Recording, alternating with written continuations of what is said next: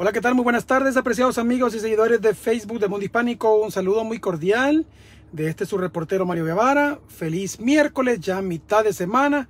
El tiempo va corriendo así, no es nada nuevo. Eh, de hecho, los, últimamente ha cambiado tanto la tecnología, ha cambiado tanto el clima, ha cambiado tantas cosas que cuando uno viene a sentir, ya se pasó el día, ya pasó la semana, se fue el año. O sea, por eso hay que aprovechar el tiempo al máximo. Y pues bueno, ya ahora que están conectándose ahora mismo, quiero comentarles, mi crónica de hoy tiene que ver con una historia muy triste, una historia lamentable, horrible, una niñita salvadoreña de apenas 13 años. Pues resulta ser que la semana pasada la criatura, ¿no? Como todos nuestros niños, tremendos, inquietos, eh, llenos de energía, se, le, se, antojó ir a bañarse, ir a darse un chapuzón a una piscina de su vecindario. Esto ocurrió en la ciudad de Charlotte, Carolina del Norte. Y esta niñita pues fue con su abuelita. Eh, obviamente estos climas han estado intensos, el calor sofocante, el calor eh, básicamente eh, horrible. Y, esta criatura pues se metió a bañarse tranquilamente. Ella no sabía nadar, así es que siempre, usualmente, no era la primera vez que lo hacía, usualmente eh, pues ella se quedaba en agua, en la agua poca, en la parte poca profunda. Pero no sabemos qué pasó hasta el día de ahora y no vamos a conjeturar porque ni siquiera las autoridades lo han dicho. Simplemente la criatura, la muchachita de 13 años, se ahogó. Cuando las personas que estaban alrededor se dieron cuenta, ya estaba flotando boca abajo. Y es horrible porque esta niña, eh, pues su abuelita estaba ahí, pero su abuelita tampoco podía nadar. Nadie se dio cuenta, o sea, absolutamente nadie se dio cuenta. No es nuevo porque no es nada raro porque al final de cuentas recordémonos que, que, todo el mundo está pegado en el teléfono, todo el mundo está en la tecnología y eso pues hace que uno se le robe la atención y uno no se da cuenta de cosas muy importantes. Pues, recuerdo un caso aquí de, en Georgia, en la ciudad de Dallas, Georgia, donde hubo igual una abuelita, o ella era uruguaya, se fue a cuidar a sus dos niños a sus dos nietos y los dos nietos se ahogaron mientras ella estaba con el teléfono, ¿no?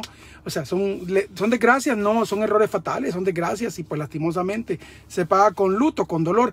Pues resulta ser que esta criatura Tiffany, Tiffany ya dejó de existir. A ella, Tiffany de apellido Alegría, a ella la recuerdan sus amigos, la recuerdan su familia como una niñita llena de vida, llena de felicidad, que alegraba donde estaba. O sea, su, su, su, su apellido Alegría le quedaba perfecto, le hacía honor.